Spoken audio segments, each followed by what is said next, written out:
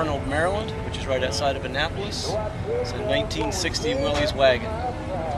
Chevy 350 V8, turbo hydro 400, automatic transmission. We bought it about 75% done. We, uh, uh, in the last six or eight months, have completely redone the suspension. We did a lot of fit and finish um, work with the body, a lot of little things just to just to get everything done.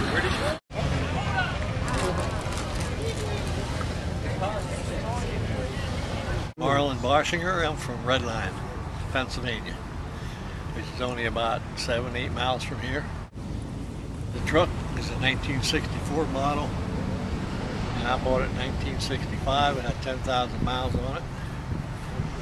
Now it only has 54,000 on it. What are you doing? Uh, I used it on the farm. Hey, remember that? I didn't use it that Trent had for a little while? too much, but when I did, I pretty much abused it, but it's still in pretty good shape. So. My family and I come up from uh, Southern Maryland. We met my twin brother here with his family from. Uh, they're from South Jersey. He runs. He, he built his CJ. He's been helping me build on my CJ. Mine's an eight. Worked really hard on the cage.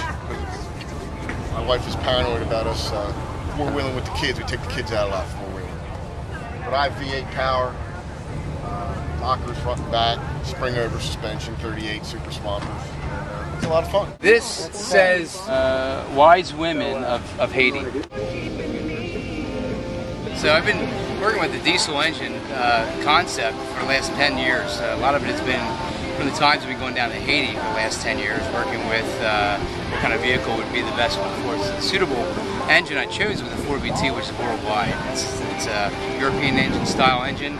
Comes a lot of red trucks, very common, parts are easy to get, so that was my decision on that. So we uh, made our own motor mounts, designed them in Haiti. Uh, had the Jeep down there for four years, um, and uh, just to try to see how it would go. And it's been it's been great. It's a lot of torque, and I, I take a lot of mission people back and forth to the airport, or do a lot of different things up in the high elevations and with coffee. And so basically started with a missions thing, and I've come back with it and say, okay, now I, I got a good design for the engines and the motors. Then we start putting in the, the Jeeps around here. So I've been doing uh, CJs, YJs, TJs, haven't done any JKs yet, but and getting all the electrical components to marry up. So we've been able to work with it, and um, it's an engine of choice as far as I'm concerned for the ease of you know the parts to get and put it in and the torque. And uh, but I know there's other engines that are coming out there that are probably more suitable, more quiet. This works great with a frame. That doesn't do so good with a uh, um, something that would have subframes to it and a little vibrating, you know. So the engine takes a little while to get used to something like that. When I'm in Italy, you know, they'll have uh, diesel engines in a Lexus, so you see a Lexus pull up and it's rattling, you know. It's like uh, they don't seem to mind, but you know, we seem to mind it here what the kind of sound is. Until we get used to not having gas engines, we'll, we'll see what it is to have better economy.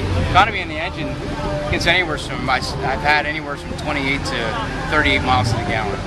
Add water injection to it, alcohol water injection, to it, really makes a difference. And uh, yeah, so about third year, fourth year into this, I know that we're probably making, Cummins coming out with a 3.3, there's other engines out there I know, until they're more readily available. You know, this is one but I know there'll be other ones in the near future that we'll be putting them in. So it doesn't matter what it is, we can we can put it in there. It's just that this is the choice for right now. I was down during the earthquake down in Haiti, and the doctor called me when it was down up in the states, and she asked I was okay. I said, yeah, it's fine. She goes, look, you got to build me one of those Jeeps now because I have another one of these down there, tan. Tan one. It's working great. Depends on the customer's requirements and the customer's needs. Whether they're going to trailer with it, or rock crawl. Right, and then that'd be determined how we're going to build it. These are the things that you know we try to specify with our guys. You know, we, we don't build things for ourselves. We build them for what the people want to have, or what they need to have, or what sometimes they don't know what they need to have, so they'll, they'll ask questions and we'll figure it out together. Sometimes they'll have an, an idea of what they need, think they need to have, and if, if I have to, I'll change it. Let them know what they need to have. This is where I or normally work down in this area. Here's Port au Prince here. You should have seen. We were here and felt it. The, the ground moved six feet here. Wow. The cloud of smoke, dust, you could not. And then at night, after the, earthquake at night, you could when we took pictures, it looked like it was snowing because all the concrete dust was in the air. Oh my And, we're, and we were like 40 miles away. So. You were actually there when the quake happened? Yeah, yeah, yeah. So we sent our doctors and nurses in. We went in to help, you know, after the right after the earthquake, and you can only imagine the devastation, people missing limbs and stuff like that. It's crazy, but you know, it's what they live through, and you have night. I have nightmares at night about. Hear people, you know, screaming, carrying on, you know, and uh, we, you know, buried a lot of people's children. A lot of that. But so I put this together. People want to do service trips or whatever, and what we've been working with is you know replantation of coffee and you know putting things back into uh, the ground. Fifty cents a seed turns into ten dollars in three years. Can you imagine what an investment? yeah, right. What an investment. So it has um, the uh, inverter and stuff they need for the uh, ultrasound machines and a Right. computer and a refrigeration for medicines, and they also are um, uh, they're training women for, for delivery. So once this vehicle goes to Haiti, it will never see a hard road. And then I have uh, either do one or two coil spring shocks to get you know keep the lift up. You know what I mean? So you should have you can do one shock, two shocks, two coils, one coil, whatever you need to do. Depending again, it depends on the needs of, the, of what they what they're doing. Where I go, I would run two shock, two coils with two shocks, two coils.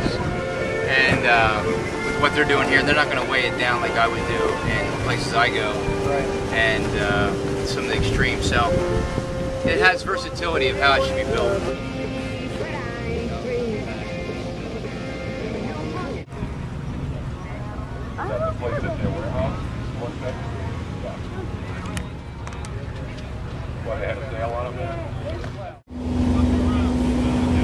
Jack Cohen from the Butler County Tourism and Convention Bureau. We're out here today to talk about our big Jeep event next year, which is the Jeep Heritage Festival, the Bantam Jeep Heritage Festival in Butler, Pennsylvania. We want people to know about the rich history of Jeep, and that's why we got this truck behind me here to talk about that and help promote and market the event. Uh, we found it online. It was a it was a brush truck, and it was on a government website, and we bought it without even seeing it and you can tell we restored it and now we have a vehicle wrap on it to talk about all the wonderful things you can do in Butler County, PA. Again, that's the that's where the Jeeps began and the old factory is still standing and we think that the history is amazing and we want to share that with everybody so we want everyone to come. They had uh, built over 1,500 of the original Jeeps and then Willys and Ford got involved and the government uh, gave the contracts at that point to those folks because they didn't think that Bantam could mass produce the vehicles fast enough for their need. And then they lost the contract. But the very first ones were the contract came to Bantam Car Company in Butler, PA. And that's how it started. And we want people to know about that rich history. We've got some people that built them and talk about them and share their story. And it'll be a great fun time in Butler next year on August 12th, 13th, and 14th. Some of the other things we do have off-roading on site. We'll have a history pavilion, and we've got stuff for kids, lots of food and fun. And we've got nearby park, which is Moraine State Park. We'll have a four mile loop inside where we can take Jeeps. And it'll be off-roading adventure there.